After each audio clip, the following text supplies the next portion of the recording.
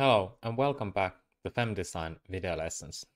In this video, you will learn about how to modify the finite elements for your shell structures in FEM-Design software. First, we can move to finite element tabs and in here we can start by checking out the peak smoothing region tool here.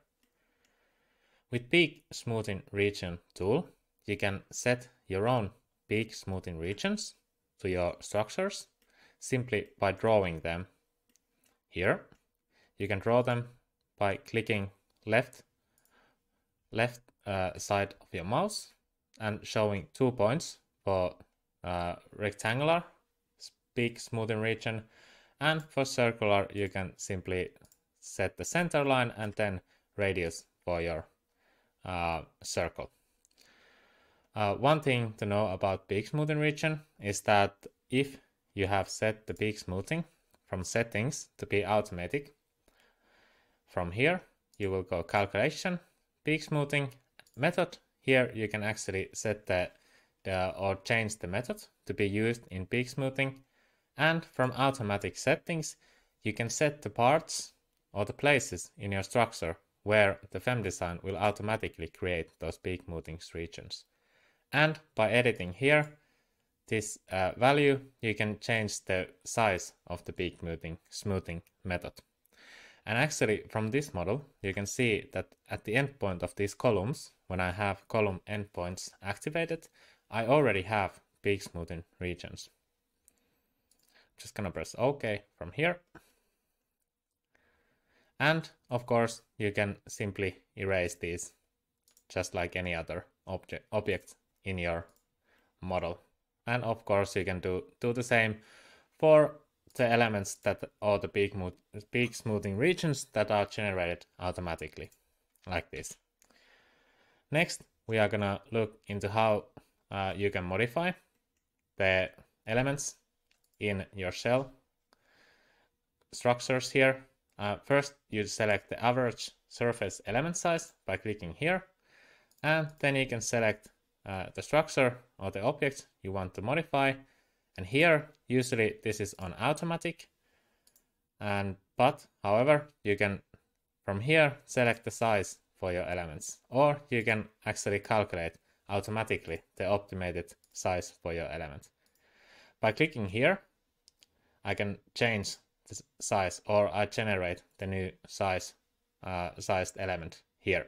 You can see that the element size is a little bit smaller than in other shells there. Uh, I have few other automated options. I have refine, optimal rebuild, and smooth. If I use refine, uh, with refine, I can uh, change the element size automatically. Let's just say that I want to refine mesh for peak smoothing area in here.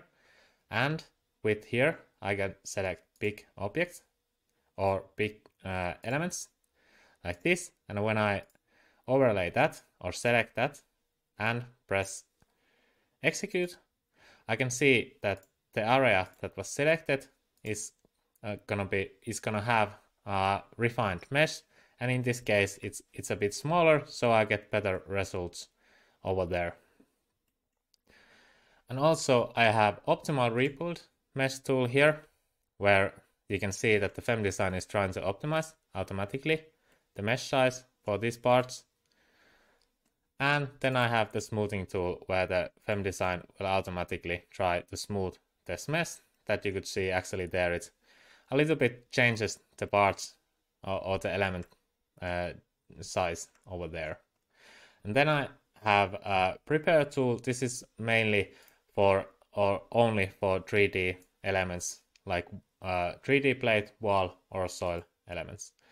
And then I have split surface elements, move node, and I can also delete my elements. Let's, let's say from there I wanted to delete those. And I'm just gonna, with this, I'm gonna regenerate those. And now what I'm gonna show lastly is checking of the elements or the finite elements. By check tool, you can check is there any problems or warnings in your mesh and here I can see that the information window said that no problems and your mesh is working correctly. So here was all for this video. I hope you enjoyed. Thank you for watching and see you in the next one.